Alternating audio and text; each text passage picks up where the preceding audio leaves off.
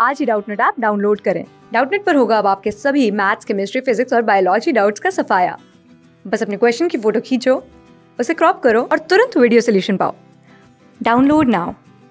Hello everyone, आज हमारे पास स्टेटमेंट कंक्लूजन बेस्ड एक क्वेश्चन है। So let's read the question the statements below are followed by two conclusions labelled 1 and 2 assuming that the information in the statements is true even if it appears to be at variance with general established facts, decide which conclusion logically and definitely follows. तो जो conclusion follow करता है हमें वो बताना है from the information given in the statements. Statements क्या है हमारे पास Statement है some shirts are socks. तो अगर हम shirts को capital S H से denote कर लें और socks को denote कर लें एस ओ से तो इसका मतलब क्या होगा? इसका मतलब ये है कि कुछ शर्ट्स यानी कुछ शर्ट्स अगर ये है कैपिटल एस एच तो कुछ शर्ट्स सॉक्स है।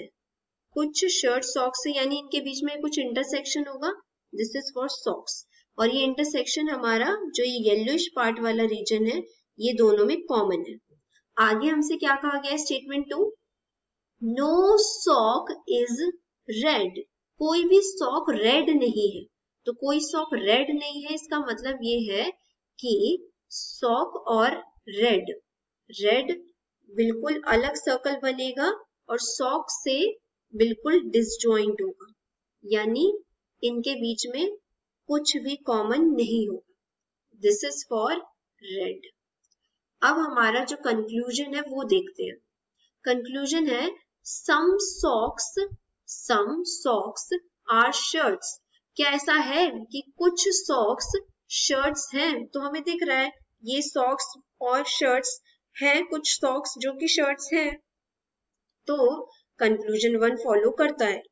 फिर हमसे कंक्लूजन टू कहा गया है नो शर्ट इज़ रेड कोई भी shirt this is shirt red नहीं है।